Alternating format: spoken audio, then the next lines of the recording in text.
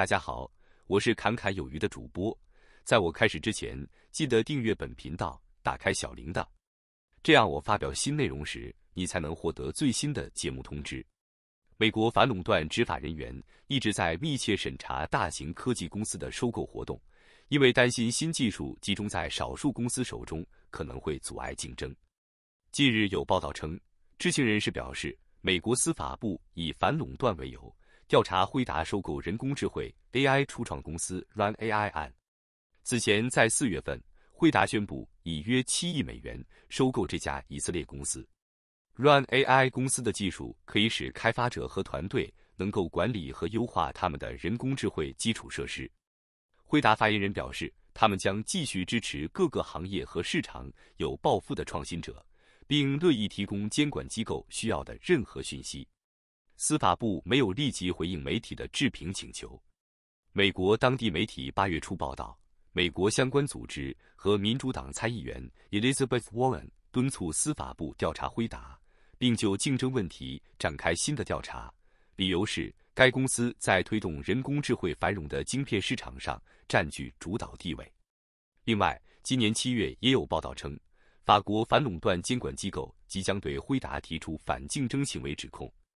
一些组织反对垄断，提倡政府对科技公司进行监管。他们抨击辉达将软体、硬体捆绑在一起的做法。这些组织认为，这种咄咄逼人的方式严重违反行业规范，会锁定客户，扼杀创新。即便如此，八月早些时候，辉达执行长黄仁勋表示，将在八月开始向世界各地送出用于 AI 应用的 Blackwell GPU 的工程样品。辉达计划在今年第四季度把 Blackwell 架构的产品投入市场，但近日有海外媒体援引产业链消息称，由于设计缺陷，辉达即将推出的人工智慧晶片将被推迟三个月或更长时间，这可能会影响 Meta、Google 和微软等客户。这些客户总共订购了价值数百亿美元的晶片。据称，辉达还告诉其最大客户之一微软。和另一家大型云提供商，其新 Blackwell 系列晶片中最先进的人工智慧晶片将被推迟。国际半导体产业协会 （SEMI） 最新发表的报告显示，二零二四年第二季全球细晶圆及半导体芯片出货面积达三十点三五亿平方英寸，创近四个季度以来的新高，较今年第一季度环比增长百分之七点一。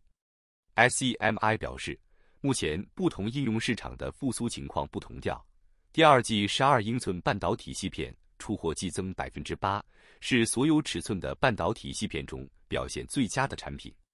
数据中心和生成式人工智慧相关产品需求强劲，是推动半导体芯片市场复苏的主要动力。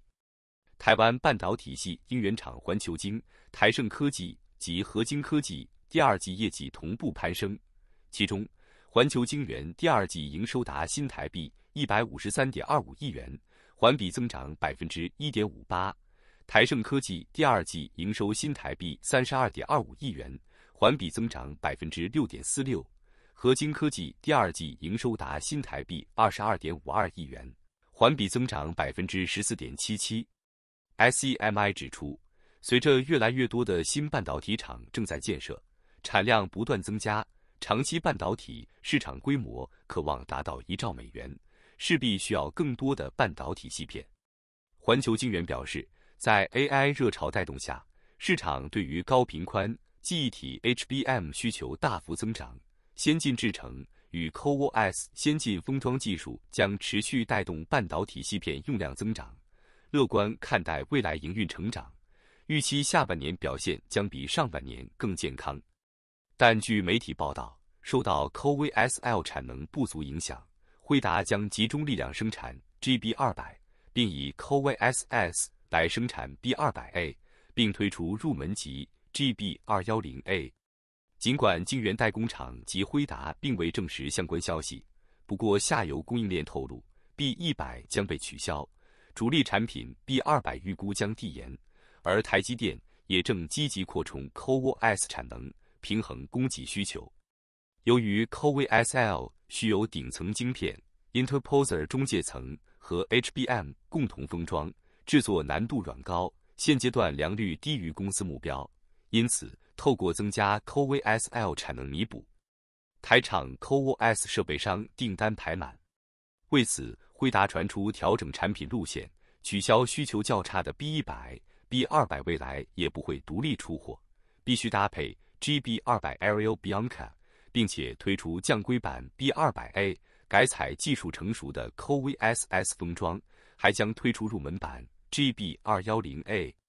CoVSL 和 CoVSS 先进封装最大差异。在于前者必须采用大量挑拣 Pick and Place 设备，在 RDL 重布线层埋入局部系中介层及其他元件，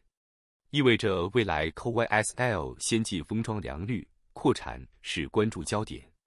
对于 B200A 效能，由于 L 先进封装通过系中介层拼接，面积较 S 大，原本可以容纳两颗 B 系列 GPU 带及八颗 HBM3E。如今仅剩一颗 B 系列 GPU 及四颗 HBM3E，并且由于产品单价降低，避免将来影响原本 B 二百市场，据传辉达可能以 CUDA 软体方式限制 GB 二幺零 A 仅能用于推理。B 二百 A 效能与 H 二百相似，B 二百仍是目前性能最佳的首选，因此原先 B 一百订单。有望转向采购 B 二百或 B 二百 A。此外，B 二百 A 采用气冷解决方案，数据中心不进行改造，可能会提高部分无需大量运算的企业对 B 二百 A 的采购，另辟新市场。不过，并不排除因出货失成递延，客户转向采用 AMD MI 三百、MI 三二五或英特尔高迪三的可能。辉达调整策略导致供应链重大变化，亦需要持续关注。业内人士表示，在强劲的人工智慧需求推升下，至明年底，台积电 CoWoS 产能将增长至六点五万片。与此同时，近期市场传出消息称，台系显示面板大厂群创去年关闭的五点五代 LCD 面板厂，台南四厂即将被台积电收购，目的是扩充 CoWoS 先进封装产能。群创于七月底发表公告称。为助力公司营运及未来发展动能，充实营运资金，计划出售南科地厂区五点五代厂 Tech 厂相关不动产。群创指出，为配合业务需求，即争取时效，澄清董事会授权董事长洪继阳于不低于拟处分资产在最近期财务报表上之账面价值，参考专业估价报告及市场行情讯息，同等规模厂房重置成本。与本案潜在交易对象协商处分条件及签署买卖相关合约。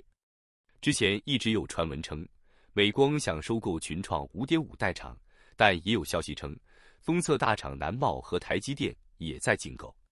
但现在最新的消息显示，台积电即将拿下该 LCD 工厂。针对这些传言，群创此前曾表示不对市场传闻做任何评论，台积电也未回应市场传闻。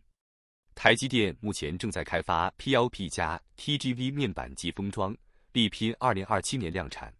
主要着眼 PLP 加 TGV 可实现更高的面积利用率及单位产能，并有效降低抑制封装成本。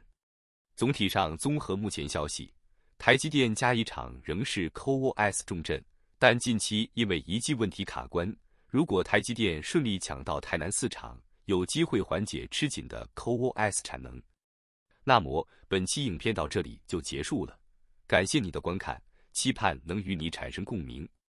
侃侃而谈，阔论有余。最后，请你点赞、订阅，这是对本频道最大的支持了，谢谢。